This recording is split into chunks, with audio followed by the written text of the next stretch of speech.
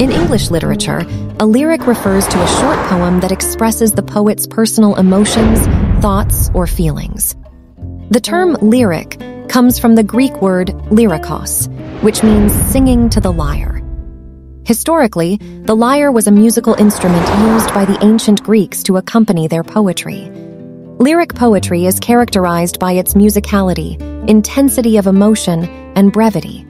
It focuses on the individual speaker's emotions, perceptions, or reflections, often conveying a sense of subjectivity and personal experience. Lyric poems are typically written in the first person and explore themes such as love, beauty, nature, spirituality, or the complexities of human emotions. Lyric poetry can take various forms, including sonnets, odes, elegies, and songs. It often relies on imagery, figurative language, and poetic devices such as rhyme, rhythm, and meter to create a musical and evocative effect.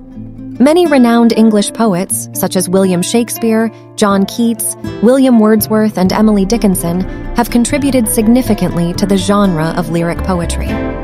Overall, lyric poetry in English literature serves as a means for poets to express their innermost thoughts, feelings, and experiences, inviting readers to connect with and appreciate the beauty and emotional depth of the human condition. If you're looking for examples of lyrics in English literature, here are a few examples from well known poets A Red, Red Rose by Robert Burns. Oh, my loves like a red, red rose that's newly sprung in June. Oh, my loves like the melody that's sweetly played in tune. The Wasteland by T.S. Eliot. April is the cruelest month, breeding lilacs out of the dead land, mixing memory and desire, stirring dull roots with spring rain. The Road Not Taken by Robert Frost. Two roads diverged in a yellow wood, and sorry I could not travel both and be one traveler. Thank you for watching. If you enjoyed this video, we would greatly appreciate it if you could take a moment to show your support. Please hit the like button to let us know you enjoyed the content.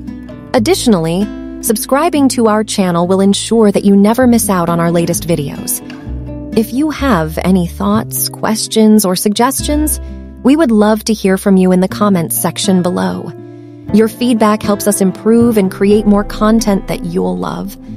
Thank you for being a part of our community, and we look forward to bringing you more exciting videos in the future.